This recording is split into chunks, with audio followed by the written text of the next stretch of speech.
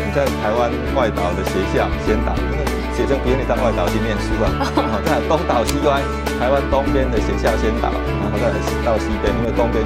花莲、台东交通不便，对，然后再来由南到北，就是南部的先打，到北北部，那最后天下为公，全台湾只剩下公立大学。大爱二台今夜说新闻。